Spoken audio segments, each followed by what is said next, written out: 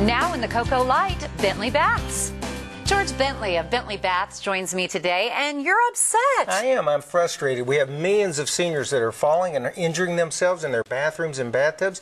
These accidents are totally avoidable. They're financially devastating to folks. And in cases like my mom, 20,000 people are actually dying because of these injuries. What would you say, though, to people out there? It's not going to be me. I'm not going to fall. Well, we call them an accident for a reason. Nobody plans to fall in their bathroom and injure themselves. And that's why we have the tagline, call before you fall. You have to be proactive. I couldn't get out of my bathtub without scaring myself half to death. That's when I got my Bentley bath. Isn't a walk in tub a luxury, not a necessity? Well, let me ask you this. What's it worth to you to be able to live independently in your own home for the rest of your life? What's it worth to you to improve your quality of life, stay out of a nursing home or a hospital?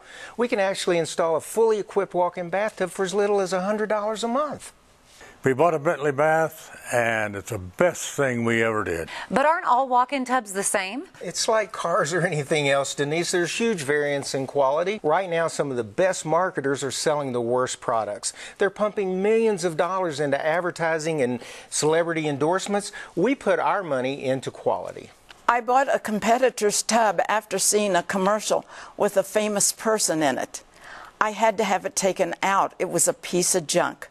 I'm so happy with my Bentley bath.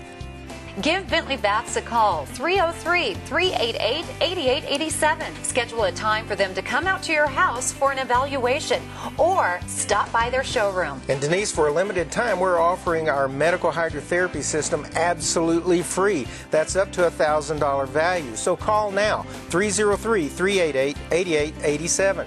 Don't risk an avoidable injury in your bathroom. Call before you fall.